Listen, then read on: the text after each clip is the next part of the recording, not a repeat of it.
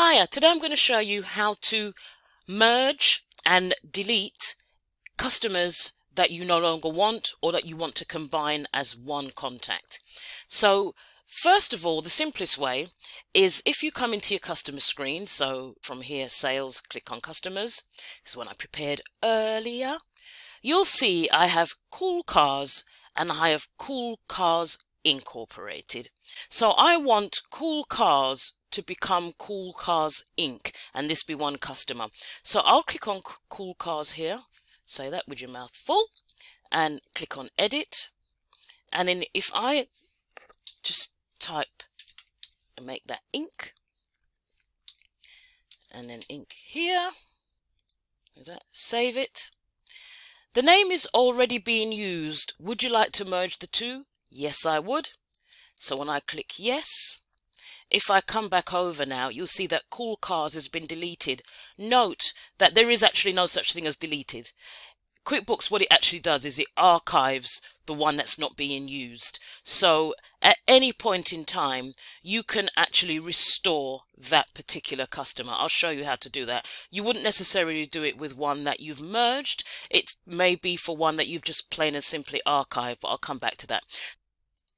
Also note that any transactions that were in cool cars or the customer or, or supplier that you archived or deleted or moved into the new account, any transactions that were in that old account will turn up in here. So nothing will go missing, no transactions will disappear or be deleted. So if, I'm not sure there were any in here actually, but if you had any transactions that were just from Cool Cars rather than Cool Cars Incorporated, the billing details, if they were different, would remain, so you would lose nothing in terms of your history.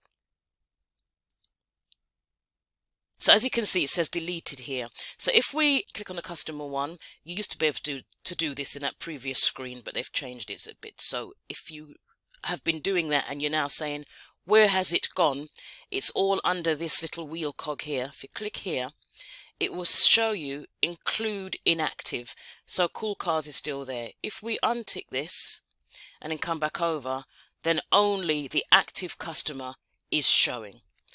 So as I said about actually just archiving a customer that you don't want, period, let's use David Cho. So David Cho here, all you need to do is put a tick here, come up to batch options, and it says make inactive. Are you sure you want to make him inactive? Yes, we do. And because over here we've chosen to not to include inactive, David Cho has also disappeared. The other way to make a contact inactive is literally just click on it. So if you just click on the actual customer, you just go into the edit screen where you would actually put the customer details, phone number and so on. And if you come down to the bottom, you'll see it says make inactive and same process. You just click that. It'll ask you the same question. Do you want to make the customer or supplier inactive? And you say yes.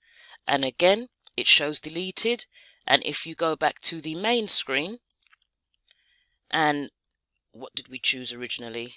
Include inactive. So if we untick that, he's now gone. Okay. But what if we change our mind? a customer comes back online and we decide we actually want to use them or they actually want to use us.